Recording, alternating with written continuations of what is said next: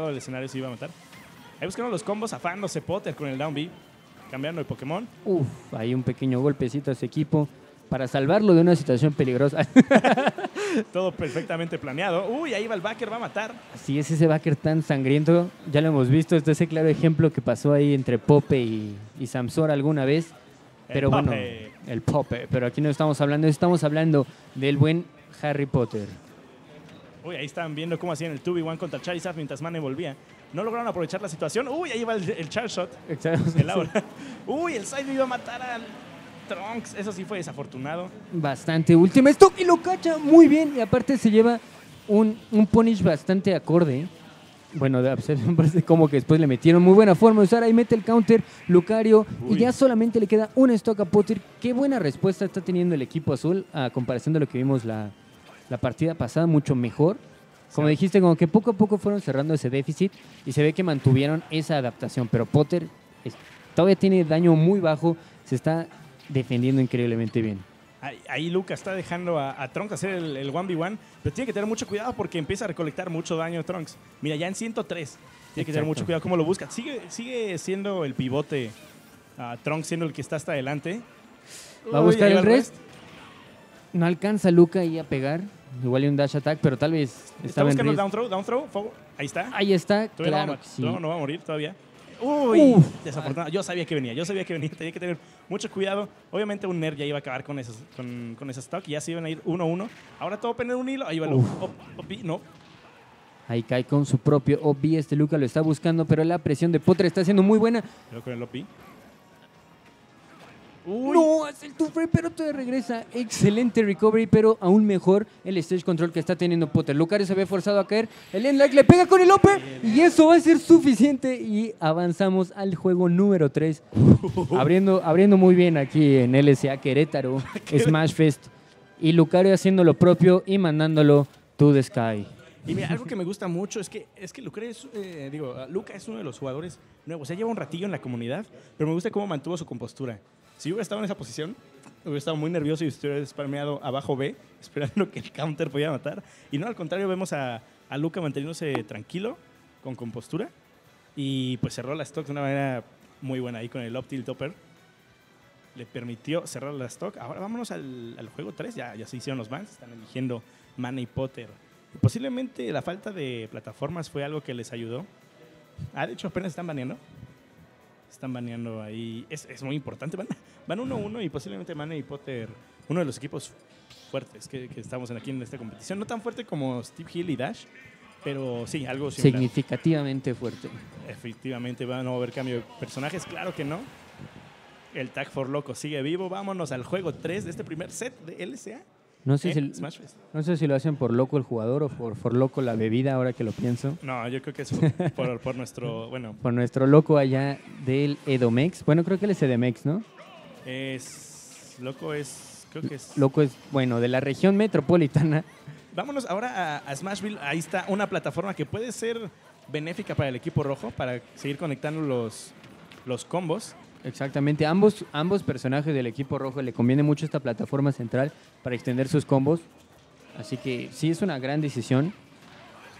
Sin embargo, algo que siento yo que siempre llega a pasar mucho, sobre todo en este stage Smashville y en dobles, es que llega a caer muchos momentos de caos. Es tan pequeño el stage que es muy fácil golpear por error a tu equipo, o golpearse entre todos, o, o que los combos empiecen a perder, a menos de que tengas un stage control muy claro.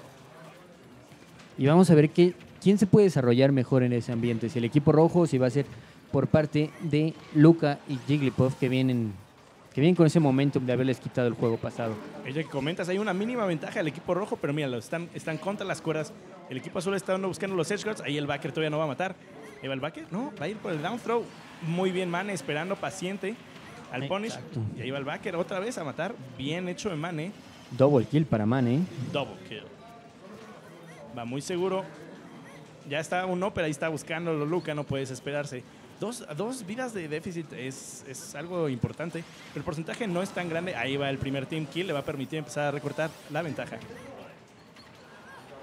Vamos a ver, este Edgeguard va a ir por el NER. Uy.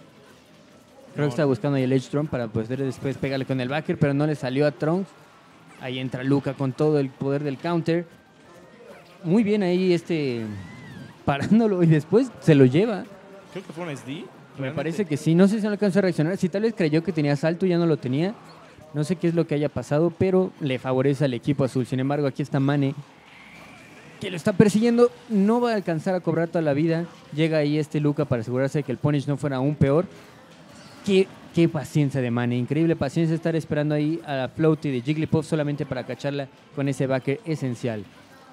Uy, el super arma de Love B no le va a permitir a Trunks gimpear tan fácilmente a Charizard de Potter. Potter ya en su última stock, yo creo que es lo que está buscando Trunks, ¿no? Ya deshacerse de esa stock, gimpearlo lo más próximo posible para poder empezar a recuperar esa ventaja.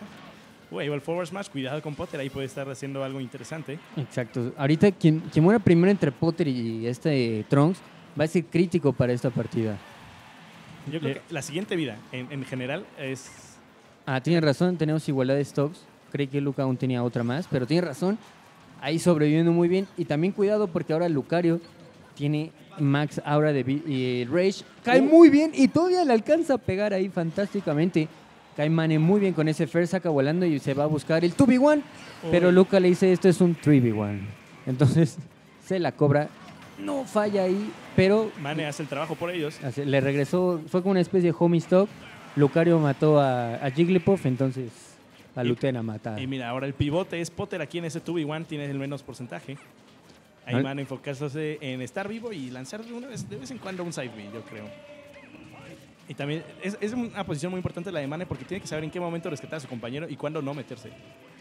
Exacto, pero ahorita vemos a Potter tiene un stage total, un, cont- un control del stage completamente, no le permite nada a Trunks y aunque sea poco a poco lo entraña, él le dice Potter, ahora le hace algo, man. Vamos a ver qué puede hacer Potter, tiene este control fantástico, Mane listo atrás en la retaguardia sin arriesgar nada porque sabe que es el que tiene el porcentaje más alto entre los dos. Ahí usando muy bien el, el crouch que tiene Jigglypuff, de por sí es pequeña y te puedes agachar aún más. Ahí cayendo con Neutral B, interesante opción. Y algo que y veo muy rápidamente, en el momento en el que Potter le pega, digo, en el que Trunks le pega a Potter, luego luego Mane ya está, ya está preparando el counter. Ahí va el up smash, claro que sí va a pegar. Así es, fantástico seto por parte de Manny Potter. Con esto, ellos avanzan a la segunda ronda de winners en dobles, mientras que Lucario y Trunks seguirán por el camino de losers. 2-1, el primer set que tenemos en este stream. Muy cerrados juegos. Aquí Así al es. final, eh, un juego muy paciente ahí al final de, de Potter y Mane. Muy inteligente el, el no sobreextenderse, el buscar hacer el bait and switch en el momento en el que se necesitaba. Y aparte de tener el control completamente del stage, forzaban a estar a Trunks afuera del stage y si estaba dentro era una lluvia de proyectiles por parte de Potter fantástica. Vamos a ver qué sigue aquí en el gran stream de LCA Querétaro, amigos. No olviden compartirlo. Sí, compártelo ahí con sus amigos. Uno de los, yo creo que de los torneos más importantes aquí en, en México. Lo más, lo más padre es que es iniciando el año, iniciando el año y muy fuerte, ¿no? Y hay nivel, hay dos, dos, cinco, 25, 25, 250, 250 attendees aproximados. Así que muchachos, vamos a ver muchos matches. Singles, dobles, ah, creo que hay torneo de waifus, hay, ah, hay Choza de los pequeñines, mejor conocido como amateur, no más bien, amateur bracket, mejor conocido como Choza de los pequeñines. Y ¿qué más? ¿Qué más? Tenemos mucha acción, muchos comentaristas también, o sea, yo y el Estel no, no, no vamos a estar aquí un buen rato, porque tenemos entonces una cantidad, un, un pléthora, un pléthora de comentaristas que nos van a estar acompañando en esta edición. Así que no se pierdan ningún momento del stream. Ahorita vamos a tener más pelea, no se preocupen.